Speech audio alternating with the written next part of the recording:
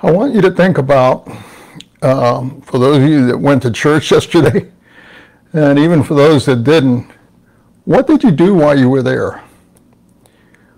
Uh, what is the real biblical purpose of church? Why did God design it? A lot of people have different ideas of what the church is to be about, what you're supposed to do when you go there. And I want to just straighten out that confusion right now because in Ephesians chapter 4, the Apostle Paul is going to make it really clear how God expects his church to function. And if you take the average church today and compare it to what it says here, you're, you're wondering, what are they doing? What is really going on in these churches? You know, why have they adopted that kind of model that doesn't resemble anything of what the Bible says? Okay, so uh, I'm going to make this really clear. Uh, pay very close attention, but let me show you something first before we even get started. I'm going to, hopefully you can see this, okay? What I've done is diagram the passage we're going to look at and that's in Ephesians 4 11 to 16.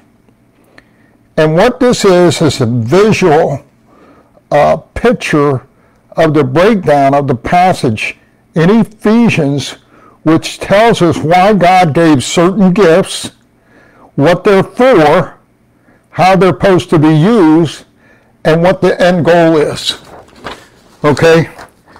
And let me just read this to you. We'll start in verse 11 and we're and, and we're speaking paul is speaking of jesus and the holy spirit.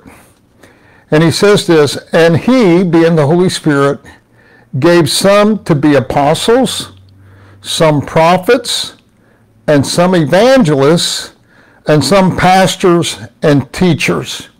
Okay so if you remember the chart i had done before on the foundation of the church the foundation of the church, Jesus Christ is the cornerstone. But he's not just a cornerstone, he's also the head of the church. To build that foundation, God enlisted both prophets and apostles. They were needed in order to usher in the transition of God working specifically in a church as opposed to working in the nation of Israel. Once that was done and the Word of God was completed, the gifts and the office of apostle and prophets cease. Okay, so yeah, a lot of prophets running around today calling themselves prophets and all. Do you realize that in the Old Testament, the test for a true prophet, that if they said one thing, one little letter wrong, they were to be stoned to death. I hear all these so-called prophets today that put prophet before their name and all that, and they're trying to claim what they heard from God and give some kind of divine revelation and all that. They'd all be stoned to death. Okay? I think back in the 60s, there was a woman by the name of Dixon or something that used to give fortune telling. And she had better accuracy than many of these prophets.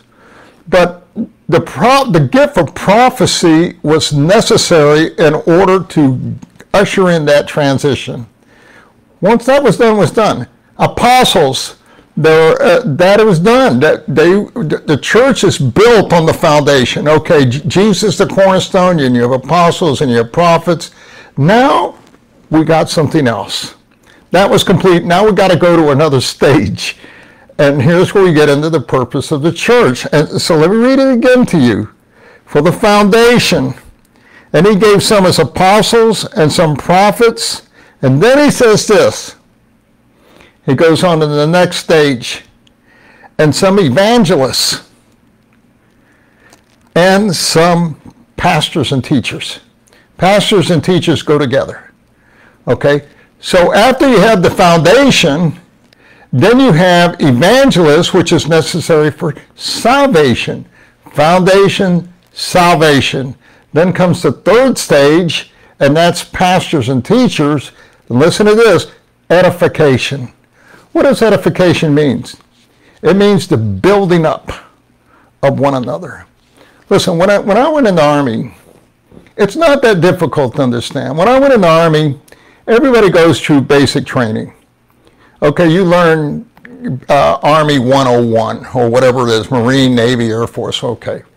Uh, the same thing is true with Christianity. First of all, you got to learn your ABCs of Christianity, basic Bible doctrine, uh, and but also this is a part which is very neglected, and that is, what is your spiritual gift? You should know what it is, and it should be training. Okay, and I'll get to that more in a minute. You won't find that in the public school. In fact, the very mention of having spiritual gifts in a public school is considered foolish. You know, yesterday they had a big thing on the news of the head of the public schools making a big rant. And her basic idea was not to teach fundamental, you know, things like math and English and grammar and history and all that, but to program kids to be a more ecumenical, all-inclusive uh, group of people. I wouldn't send my kids to public schools. In fact, I didn't. But if you got your kids in public schools, they're programming them, okay? They're desensitizing them to truth, and, and instead, they are doing brainwashing in them. And that's why you got all these young kids and young people uh, doing the things they're doing, because that's the way they were orientated you know?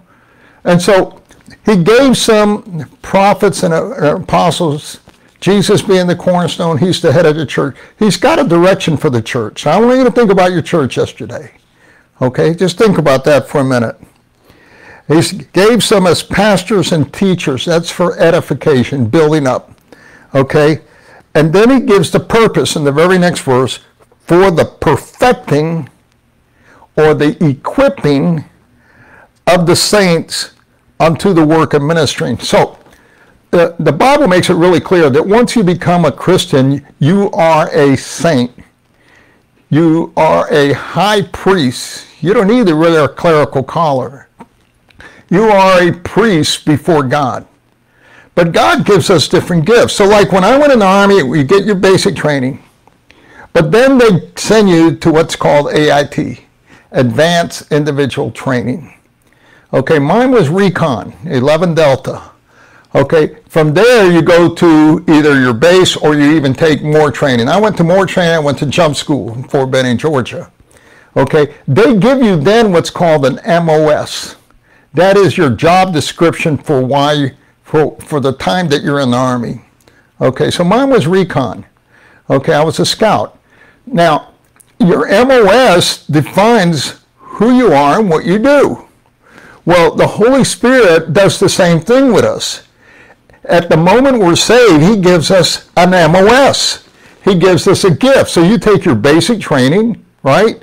Then you get your advanced individual training. You discover what your spiritual gifts are that the Holy Spirit gave you the minute you were saved. And then you get equipped in it. And that's what it says here. He gave pastors and teachers to equip the saints, equip you and me. And then he says, unto the work of ministering. Who does the work of ministry? The saints that were equipped, not the pastor. They're the ones that do the equipping. A lot of people get it all wrong. Uh, uh, uh, you know, they hired this pastor and they expect him to go doing visitation and doing all these priestly duties like marrying and burying and all that stuff. And, uh, and bring a message and all that. They give this job description to this pastor that's so foreign to the Bible. The Bible says the pastor's job and the teacher's job is to equip the saints. So he gets them around and he trains them. Now you all go out and do ministry. My job is to train. Yours is to do ministry. Now, I have a gift of teaching. Okay? Uh, that gift has been trained. It's been equipped over many years uh, under uh, godly teachers and so forth. That's my gift. Your gift may be different.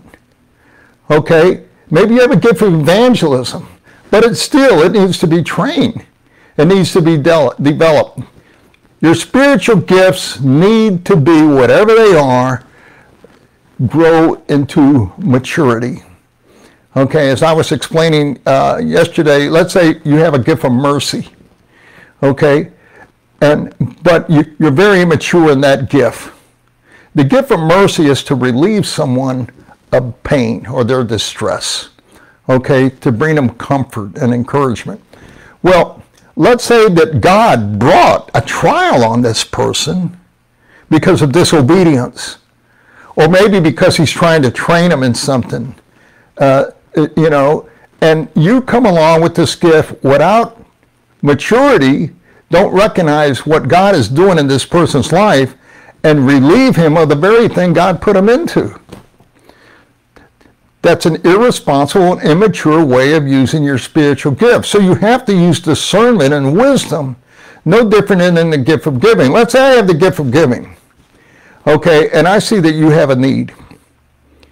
But in my gift of giving, I don't have anything to give because I'm broke all the time. I don't work and I don't do anything. So I'm going to be frustrated in my gift because I have nothing to give. So your, your, your gift has to be not only developed, but it has to be established with various resources. I have a gift of teaching, so I got hundreds of books. I do a lot of studying. Okay, I compare, I, I, I compare one thing with another so that it all fits. Study to make yourself approved so the Word of God fits, not becomes disjointed. Well, this doesn't make sense with this. Okay, I wouldn't be a very good teacher then. So the job of the pastor teachers is to equip the saints. Now, you need to recognize two things the church. There's two concepts of the church in the New Testament. There is the body of Christ, which is that invisible body that only God knows who is really his and whose isn't. Okay, we can compare it with the tares and the wheat. Okay, that's the body, that's the bride. Those are those possessing Christ, the Holy Spirit, not the professing, those that are just being religious. I know a lot of people are religious. They go to church and they do this. They've been doing the same thing for years. They don't even know what they're doing. Okay, doesn't resemble anything what the New Testaments are. Then there's the local body. That's the organized assembly of believers that have uh, a function in there. They got leadership, they got administration, which is a gift, and, and they have a particular purpose, or they'll have a stated purpose, and they're, you know, we exist for this reason, and we do these things. Okay. Uh, so you got your universal church, and then you got your local assembly. In your local assembly, you're going to have people with varying gifts. Okay, so let me read this to you again. And he gave some as apostles and prophets for the foundation, some evangelists for salvation, pastors and teachers for edification, for the equipping of the saints. If you are in the military, once in a while they'll send you to the armory. An army is a place where you get equipped. You get your weapons, you get rested, uh, you get advanced training. Okay, so when you come into the church, it's like coming into an armory, okay, or a life ship, not a cruise ship. and that's where your wounds get healed. That's where your broken bones get mended. This is where you get equipped trained, mended, rested up, restored. Okay? It says, onto the work of ministry, onto the building of the body of Christ. Now, now it's going to give the time frame. Till we attain unto the unity of the faith and of the knowledge of the Son of God. So you're growing unity and knowledge. What was Paul's ambition? That they may know Christ in all his power, in all his suffering, Okay, it was a growing, uh, uh, uh, I think the Greek word is, is um, gnosko. It's an intimate knowledge of getting to know God in a personal way. If I was to ask you right now, give me one word of what you think about God, what would you tell me? And different people would say different things. I think he's holy, he's perfect, he's immutable, uh, he's transcendent, uh, he's omniscient, he's omnipotent. You know, he's loving, he's kind, he's compassionate. and you're beginning to describe God as you have come to know him personally. Okay? Until we all attain to the unity of faith and of the knowledge of the Son of God, unto a full grown man, until the measure of the stature of the fullness of Christ. So it doesn't end. This equipping goes on until you die. There is no point in the Christian life where you say, well, you know, I arrive, I can sit back, I don't need to learn anymore. You know, you're going to grow and grow and grow and grow. And if you don't, you're going to be like a car on a hill. The minute you start growing, you're going to start sliding back. Okay, and I see a lot of people like that, you know, and they call them what? Carnal, um, backslidden, backsliding all the way back. You know, I saw a picture of this woman parked her car on a hill and she forgot to put it in park. And next thing you know, she didn't even realize. She closed the door, she gets out, of the car starts sliding down and it's heading into a riverbank. the car went down into the river. She's chasing after it like she's going to stop it. It was so funny. But anyway, that's what happens in the Christian life. We start, we need to keep moving on. What happens when you get up to a steep hill? Especially for us that are a little older the, the, the higher we go, the steeper it is, the more effort it takes. Uh, you know, and if any of you ever done any hiking, you know when you climb a, a ridge and you think you're finally at the top, when you get to the top of the ridge, you look, oh, there's another. The, the life, the Christian life, doesn't get easier; it gets harder. But you also learn to give it over to Christ, and He carries you. Okay, that is the secret, you know, it's learning how to pass your load on. And Jesus says, Take my load, it's easy. It's learning how to do that and then letting Christ go ahead and push you up that mountain. Okay, until until the measure, the stature, the, the fullness of Christ. And here's why, especially today, that we may no longer be children tossed to and fro and carried about by every wind of doctrine, by the sleight of man in craftiness under the wiles of error. And that's what happens to a lot. I see it every day. There in the day they go, I can go right now on Facebook and point out this error, this error. And you have Christians promoting this error, this error, this error, this error. They've never been trained. They hear something, oh, it excites them, they pass it on to somebody else without doing the research or the study or not having the, the background of, of deep spiritual wisdom and revelation and study in order to recognize something that's false. Okay, you want to know, you want to point out a counterfeit $100 bill? Well, you got to compare it to the genuine thing. But if you don't know the genuine thing, you're going to be taken by surprise. So you got a lot of these so-called prophets and apostles and um, mega preachers out there that are promoting a gospel and things that is foreign to the scriptures. They're doing services or what they call worship services with all this contemporary music and jumping around and all that. That has nothing to do with what the Bible teaches here. Okay? So you need to understand the true picture of God's design for how what he wants for the church. And then he goes on to say, we're to grow up in all things in the him who is the head, even Christ. Christ is the head of the church, uh, from whom the body, fitly framed and knit together through that which every joint, according to the working and due measure of each part, make it the increase of the body until the building of itself in love.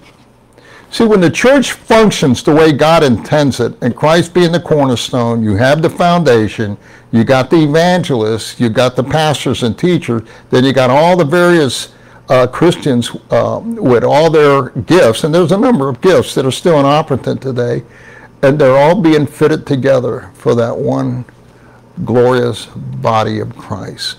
So I asked you at the beginning, what did you do in church yesterday?